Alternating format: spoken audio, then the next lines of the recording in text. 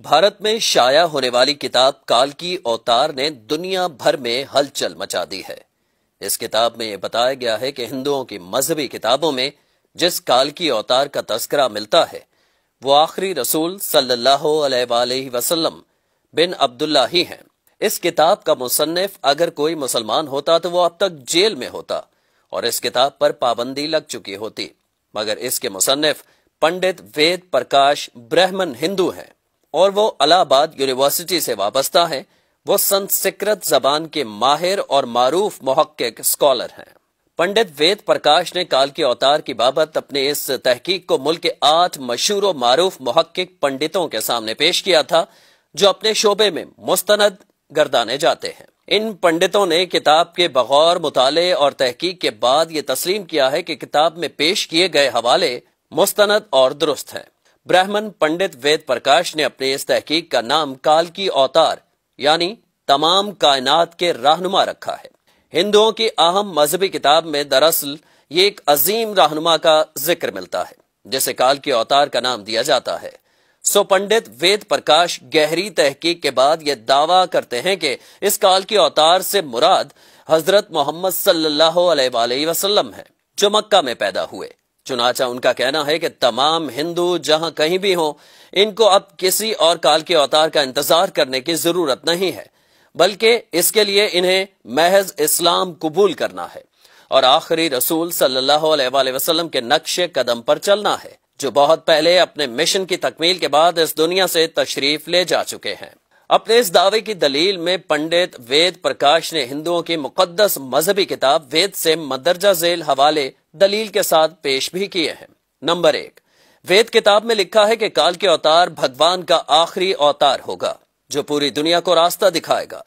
इन कलेमात का हवाला देने के बाद पंडित वेद प्रकाश लिखते हैं कि इस पेश गोई का इतलाक सिर्फ़ हज़रत मोहम्मद सल्लल्लाहु के मामले में दुरुस्त हो सकता है।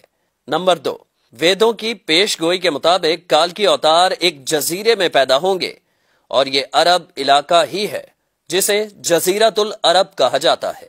नंबर तीन मुकदस किताब वेद में लिखा है कि काल के अवतार के वालिद का नाम विष्णु भगत और वालिदा का नाम सोमानब होगा, जबकि संस्कृत जबान में विष्णु अल्लाह के मानों में इस्तेमाल होता है और भगत के मानी गुलाम और बंदे के हैं।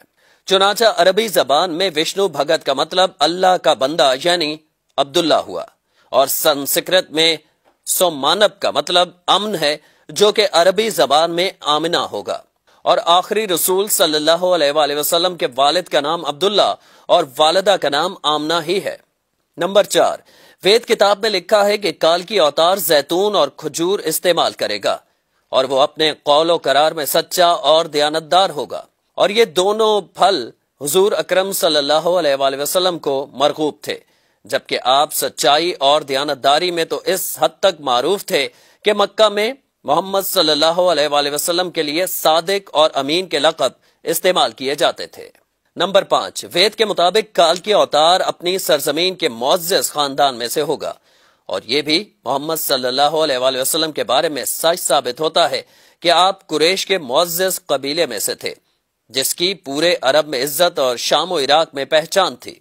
नंबर छह, हमारी किताब कहती है कि भगवान काल की अवतार को अपने खसूसी कासिद के ज़रिए गार में पढ़ाएगा।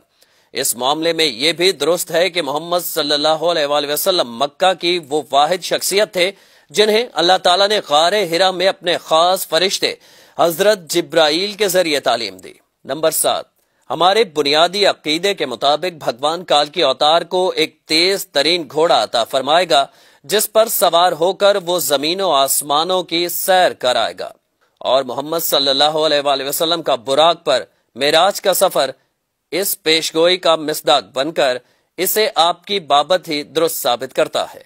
नंबर आठ, नेज लिखा है कि हमें यकीन है कि भगवान काल की अवतार की बहुत मदद करेगा और इसे बहुत कुत अता फरमाएगा।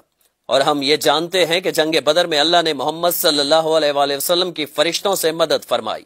नंबर नौ, हमारी सारी मजहबी किताबों के मुताबिक ये पेश गोई मिलती है कि काल की अवतार, घोड़सवारी, तीरंदाजी और तलवार जनी में माहिर होगा। पंडित वेद प्रकाश ने इस पेश गोई पर बड़ा खूबसूरत तबसरा किया है, जो बड़ा अहम और काबिल गौर है। वो लिखते हैं कि घोड़ों, तलवारों और नेजों का जमाना बहुत पहले गुजर चुका है। अब तो टैंक, तोप और मिसाइल जैसे हथियार इस्तेमाल में हैं। लिहाजा यह अकलमंदी नहीं है कि हम इस दौरे जदीद में तलवारों, नेजों और बर्चियों से मुसल्ह काल के अवतार का इंतज़ार करते रह जाएँ। हालाँकि हकीकत यह है कि मुकद्दस किताबों में काल के अवतार के वाज इशारे हुजूर सल्लल्लाहु अलैहि वसल्लम के बारे में हैं, जो इन तमाम हरबी फनून में कामिल महारत रखते थे। टैंक, तोप और मिसाइल के इस दौर में घुड़सवार, तेगजन और तीर अंदाज काल के अवतार का इंतज़ार निरी हिमाकत है। इसको इतना फैलाएँ कि सारी दुनिया के हिंदू कलमा पढ़कर अल्लाह ताला के हुजूर सच्ची तौबा करके जन्नत में जाने वाले बन जाएँ। कम अज कम अपने दोस्तों को ज़रूर बताएँ।